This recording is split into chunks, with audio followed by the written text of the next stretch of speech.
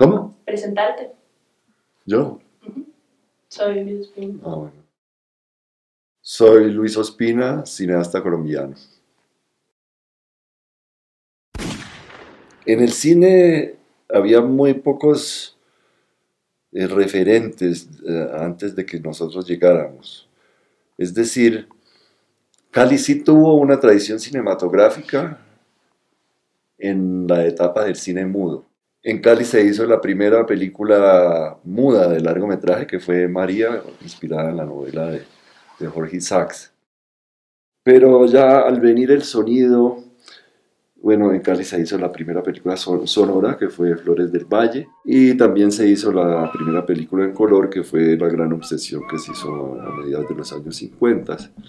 A partir de ahí, el, el cine prácticamente desapareció de la ciudad de Cali. Entrados los 70, en el año 71, comenzó esta colaboración entre Mayor y yo y, y Andrés Caicedo también lo que después se vino a llamar como el grupo de Cali.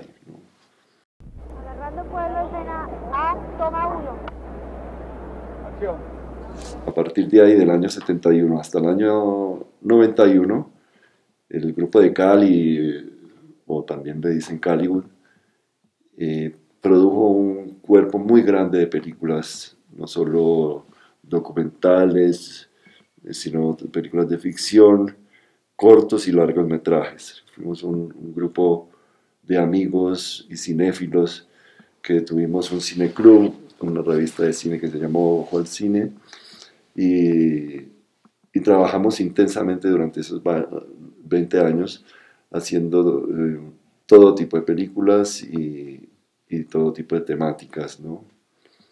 Yo creo que de cierta forma nosotros nos inventamos una ciudad, o por lo menos fuimos en busca de una ciudad, porque justamente en el año 1971 en Cali se realizaron los sextos Juegos Panamericanos. Sextos Juegos Panamericanos cambió completamente la ciudad. Cali, que era una ciudad pequeña, con muchos, mucha vida de barrio, eh, algunas construcciones viejas, eh, pues las fuerzas vivas de la ciudad decidieron volver a, Cali una ciudad moderna.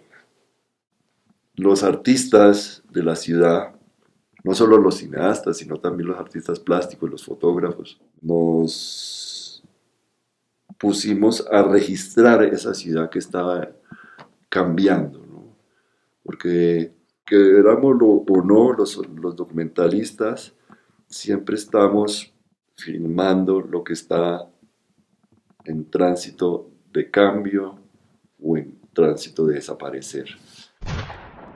Andrés Caicedo siempre tenía esa frase de morir y dejar obra.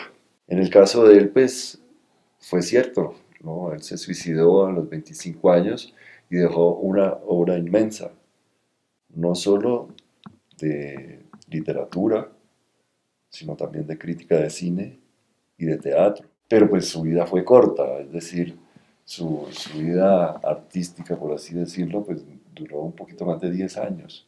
Eh, y él también, pues en, en, alguna parte dice que uno puede morir tranquilo confiando en unos pocos buenos amigos.